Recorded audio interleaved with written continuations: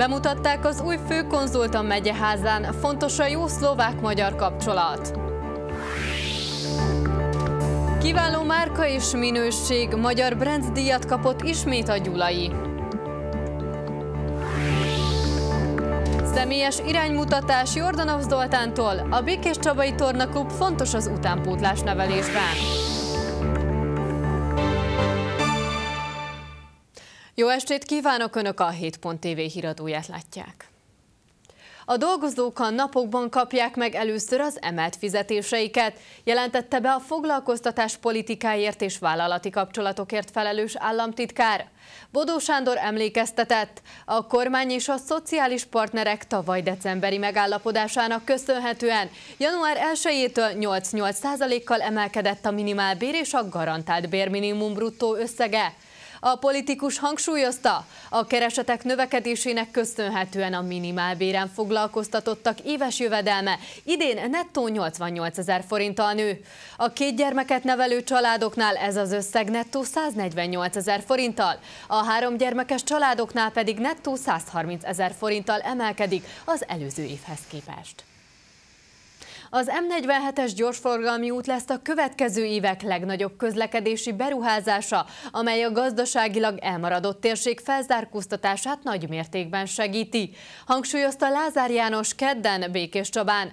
Az országgyűlési képviselő is részt vett azon a gazdaságpolitikai fórumon, amelyet a Békés megyei kereskedelmi és iparkamara szervezett. A szervezők a megye fejlődését meghatározó vállalkozók és közigazgatási vezetők részvételével rendezték meg az évnyitót. Az eseményen bemutatták a Kamara Top 100 Békés megye gazdasága 2018 című kiadványt is. Összeállítjuk a 100 legsikeresebb vállalkozásról egy kimutatást, ezeknek a munkáját nyilván elismerjük, és egyben egy útmutatót is ad számunkra, hogy kik a legsikeresebbek, milyen ágazatokban miért történik, és kicsit elemezzük ezáltal Békés megye gazdaságát is. Az Iparkamara megyei elnöke hozzátette, a tanácskozás jó alkalmat kínál arra, hogy közösen vizsgálják meg a térség fejlődési lehetőségeit. A fórumon Parrag László, az Országos Iparkamara elnöke a digitalizációs forradalom okozta változásokra hívta fel a figyelmet. Olyan ö, mértékű fejlődés zajlott le az elmúlt öt évben, és olyan mértékű fog lezajlani a következő néhány évben, ami az embernek az életét minden területen átalakítja. Hírközlésben, szórakozásban, munkában, előreállításban, időjárásban, gondolkodásmódban, lakhatásban, és erre nekünk nagyon rá kell készülni, különösen azért, mert ez a cégeknek a versenyképességét is nagyon erőteljesen érinti.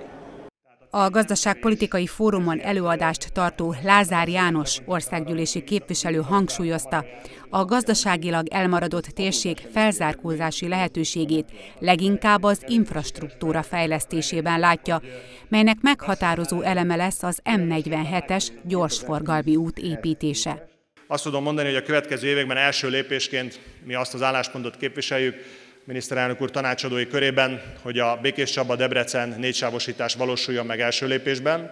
Részben azért, mert a Hódmezővásárhely Szeged szakasz kész van, részben azért, mert a Hódmezővásárhely Békés Csaba, illetve Mezőberény szakasz most került felújításra, és ha először négy sávosítjuk Békés Csaba és Debrecen között az utat, a második szakaszban fogjuk Szeged és Békés Csaba között négy sávosítani. Az M47-es út lesz a következő évek legnagyobb közúti közlekedési beruházása, tette hozzá az országgyűlési képviselő. A teljes szakasz négy sávosítása és gyorsforgalmi úttá való átalakítása közel 500 milliárd forintba kerül majd. A megyeházán mutatták be a szlovák köztársaság Békés Csabai főkonzulátusának új vezetőjét. A közösen tartott sajtótájékoztatón többek között a szlovák-magyar kapcsolatok erősítése került a középpontba. Már hagyománynak számít, hogy az új főkonzulokat a megyeházán mutatják be, kezdte köszöntőjét a Békés megyei önkormányzat közgyűlésének elnöke. Zalai Mihály hangsúlyozta, ennek az az oka, hogy a szlovákok meghatározó szerepet töltöttek be Békés megye elmúlt három évszázados történelmében. Főkozul úrral leginkább arról beszéltünk első találkozás alkalmával, hogy milyen ötletekkel, elképzelésekkel, milyen múltal érkezett, milyen, mit hoz magával Békés Csabára az itteni szolgálat idejére. Mi pedig igyekeztünk bemutatni egyrészt a megyei önkormányzat működését, az önkormányzataink működését, mindazokat a feladatokat, amelyeket az ítélő szlováksággal kapcsolatban mi ellátunk. Az új főkonzul elmondta, hogy a mai napig nagyon sok szlovák nemzetiségű ember él a megyében, ezért tartja fontosnak, hogy jó kapcsolatot ápoljon a megyei önkormányzattal. Emil Kuhár elmondta, hogy már több mint egy hónapja Magyarországon tartózkodik. A legfontosabb feladatomnak azt tartom, hogy minél több emberrel találkozzak.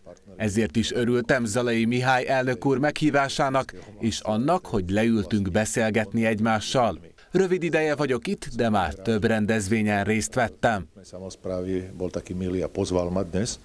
A főkonzul elmondta, hogy feladatának tekinti azt is, hogy a szlovákok minél jobban megismerjék Magyarországot. A Magyar Brand program 9. éve díjazza a magyar vonatkozású márkák közül a legeredményesebbeket.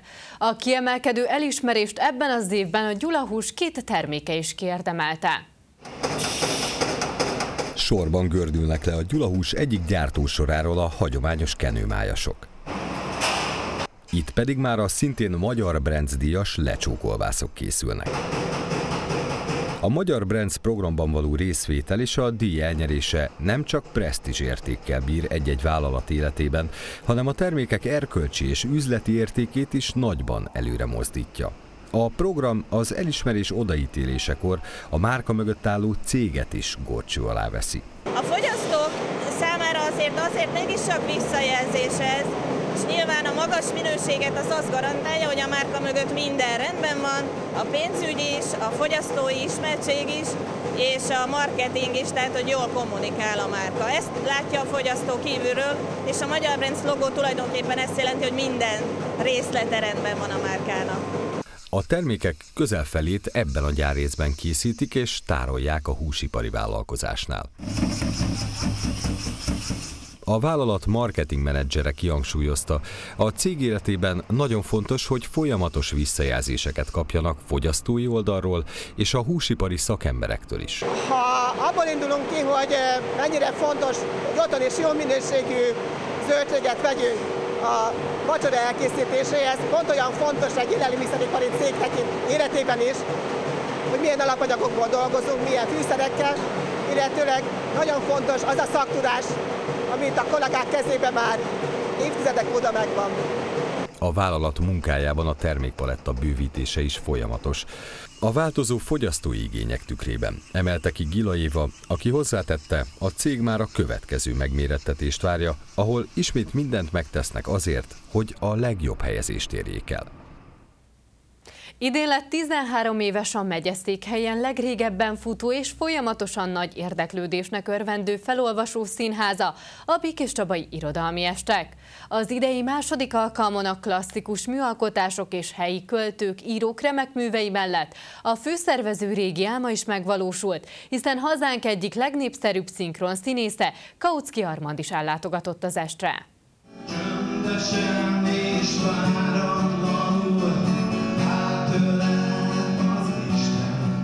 Kavai Gábor egy adivers megzenésített változatával köszöntötte a megjelenteket. Kautsky Arman neve és munkássága hazánkban szinte mindenkinek ismerős. A Jászai Maridia színművészt most élőben láthatta és hallhatta a nagy közönség meddig nekünk? A kezedet fogom. És az est díszvendége a rendezvény második részében egy kötetlen beszélgetésen válaszolt a felmerülő kérdésekre. Rendkívül dinamikus ilyenkor, forra levegő, látom az érdeklődést, látom, hogy ez nem annyira érdeklik, akkor már megyek egy másik témára. Tehát rajtam múlik, nem a költőn múlik, vagy az, az írón, aki, akinek a szövegével dolgozom, hanem csak rajtam múlik. Viszont ez óriási felelősség is, nem tudok senki mögé odabújni. A főszervező szerint az irodalmi est egyik leglényegesebb célkitűzése a klasszikus és a kortárs műalkotások összekapcsolása. Frankó Attila elmondta, már a következő est műsorterve is készen van. Márciusban lesz, ott március 15-éről fogunk megemlékezni. Én nagyon-nagyon hálás vagyok a, a sorsnak, hogy csinálhatom, és visszük vidékre, Békés megye kis településeire.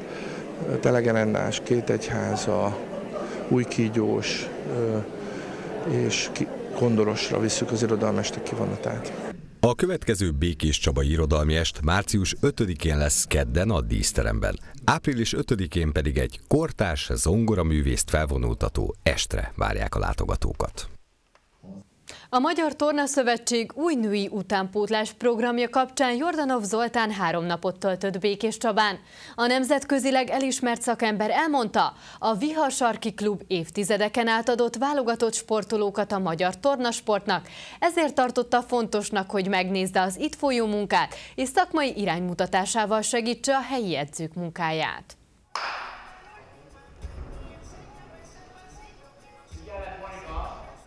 Annak a csoportnak zajlik az edzése, amelynek tagjai tavaly megnyerték a gyermek kezdőkorosztályos országos bajnokságot a Csabai Egyesület színeiben. Elsősorban ezekre a fiatal tehetségekre és edzőik munkájára volt kíváncsi Jordanov Zoltán.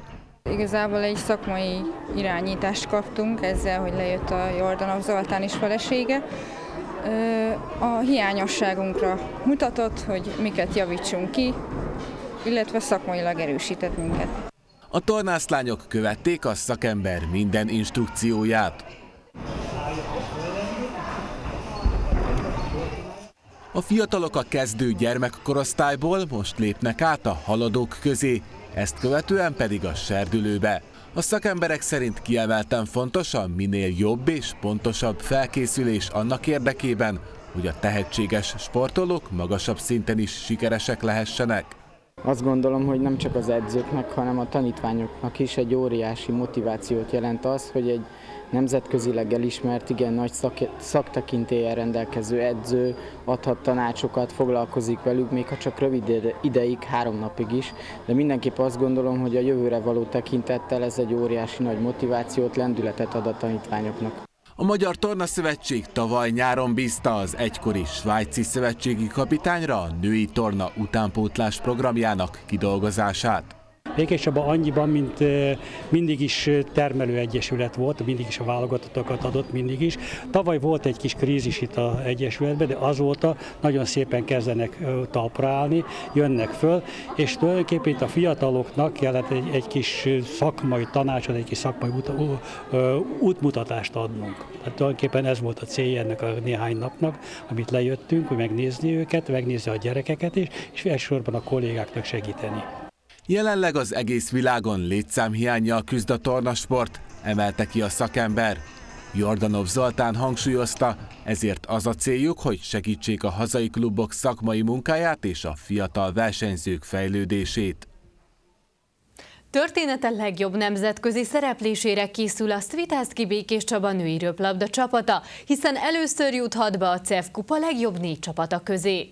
Paul Bogdán együttesének ehhez a francia Fel együttesét kell legyőzni a második számú európai kupasorozat negyed döntőjében.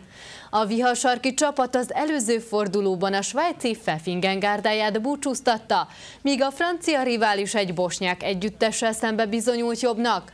A Fel jelenleg a hatodik helyen áll hazája bajnokságában, 19 ponttal lemaradva a lista vezető és bajnokok ligájában szereplő Bezié csapatától. A BRS-en negyed döntős párharcának első mérkőzése csütörtök este 3.46-kor kezdődik a Városi Sportcsarnokban. Híradónkat látták, további híreinket és korábbi műsorainkat megtalálják a behír.hu oldalon. Köszönöm figyelmüket, maradjanak továbbra is velünk, viszontlátásra!